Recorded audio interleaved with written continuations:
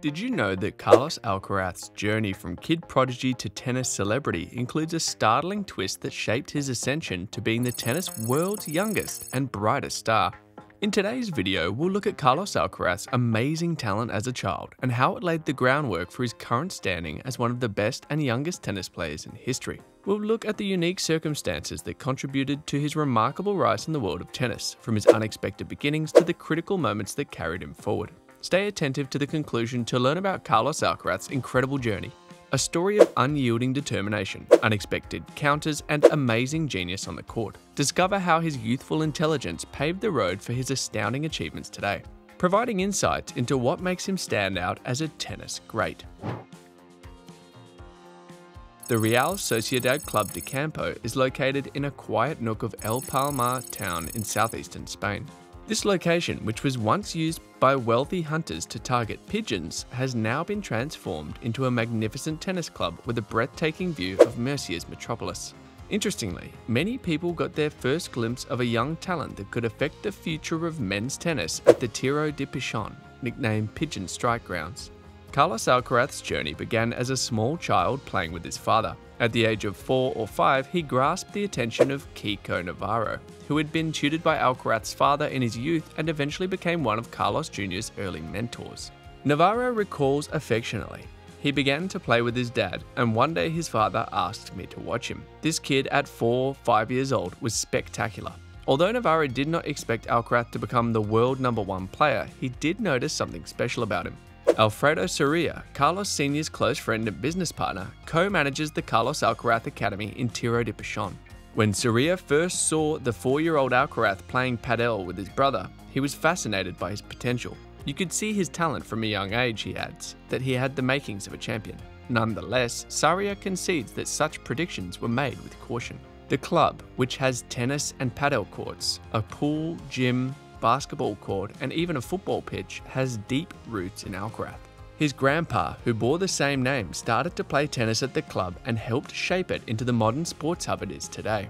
The Tiro de Pichon club became a stage for a young Carlos Alcaraz to show off his great talents, capturing the attention of people who saw something special in him. So, from humble beginnings, a future tennis superstar's career began. The breakthrough has now surfaced after three generations of effort inside the Alcaraz family, and the wait has proven to be worthwhile. As the curtain rose on the French Open, the Globe saw Carlos Alcaraz's ascension to the renowned world number one standing strong as a contender in the event. His incredible journey through 2022 imprinted his name in history, achieving a Grand Slam title at the US Open and an unparalleled feat as the youngest number one in the ATP rankings at the age of 19. This is enough to show his commitment and his passion. Carlos Alcaraz's meteoric ascension in the tennis world may appear predetermined given his great talent, youth, and frequent triumphs. It's almost as if he was intended to become the youngest ever world number one in ATP ranking history. With his amazing speed, delicate touch, and body that fits right in among the tennis grades, his favourable genes also play a role as his father was a nationally rated pro in Spain during his adolescence. But was Alcaraz's path truly predetermined? Maybe not. In sports, particularly tennis, where early training is critical, there is frequently an element of chance that affects the road to success. Alcaraz's story took an unexpected turn because of a lucky coincidence involving the logo of a local confectionery firm. Alcaraz wore shorts with this symbol since he was 10, thanks to chance meetings with Alfonso Lopez Rueda, a tennis playing executive from Postres Reina, a Spanish sweets and desserts company known for its delightful goodies. Because of his interest in Alcaraz, Lopez Rueda was able to travel across Europe and battle against older opponents in unfamiliar arenas. This encouragement may have played a role in Alcaraz's unwavering serenity and happy demeanour when he walked onto large stages under blaring spotlights. Of course, Alcaraz's inherent qualities were crucial to his success. When faced with opportunities, he took them, demonstrating his outstanding abilities. Those prospects, though, arose from a decision made by Alcaraz's family decades ago. This sensible man decided to build tennis courts and a swimming pool at a hunting club in El Palmar, close outside Murcia. While cheaper alternatives existed, Grandpa Alcaraz, also known as Carlos, made certain that the distinctive red clay courts were included in the club's development. Echoes from the past reverberate among the club's members, who recall a fervent young Carlitos in his early days. Soria recalled an entertaining occurrence when he arrived at the club for a meeting with Alcaraz's father. I went to look for Carlos Sr., and there I found Carlitos watching a game between grandparents by the fence on court 3, he says, laughing. He knew how they were faring, he told them the mistakes they were making. You have to serve here. He has a passion for tennis. Fast forward nearly a dozen years, imagine Alfonso Lopez Rueda, a tennis aficionado and CEO of Postres Reina, a business in Caravaca de la Cruz. But Lopez Rueda's love of tennis is more than a passing fancy. He has a particular liking for playing the game on the treasured red clay courts. He happens to live in the same neighborhood as the Alcaraz family, and the nicest and most accessible clay courts for him are at a club in El Palmar. Naturally, he frequents this club, developing friendships with Carlos Alcaraz's father and even collaborating as a double partner with Alcaraz's uncle. Lopez Rueda's curiosity got the best of him one day and he decided to watch Alcaraz play on the court. What he saw was nothing short of remarkable. Alcaraz exhibited an astonishing range of abilities. Despite his enormous potential, the Alcaraz family's financial resources were limited. They had constraints because Alcaraz's father worked as a tennis teacher and administrator at the club and his mother was dedicated to raising him and his younger brothers. Lopez Rueda stepped in and offered the family a 2,000 euro loan to help them participate in a competition.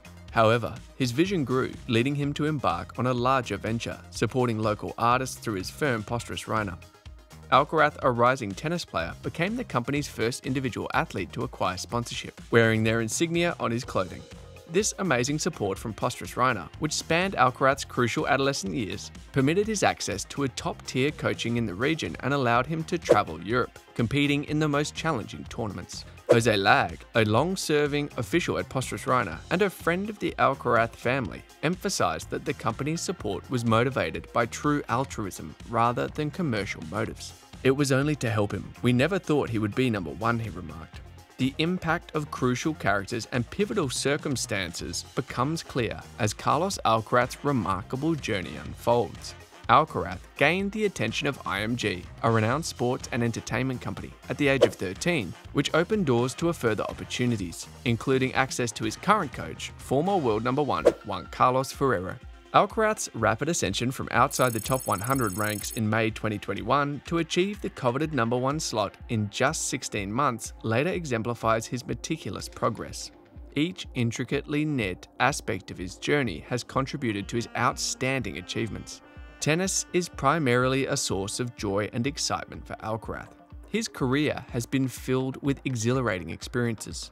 From his first victory on a remote court at the Australian Open in February 2021 to consecutive victories over Nadal and Djokovic at the Madrid Open in 2022, to enthralling clashes with Tiafoe and Michelle Obama's appearance at the US Open. Even his victories in the finals are a part of this thrilling journey. Alcaraz's victory stands out in a modern tennis era dominated by long exchanges from the baseline. His path to success was paved with vivacious, innovative all-court play highlighted by explosive forehands, a bombardment of drop shots that suffocated opponents, and an unshakable proclivity to advance towards the net. What characteristics of Carlos Alcaraz's youth and early development do you believe contributed the most to his meteoric ascension to the top of the tennis world today? Comment down below.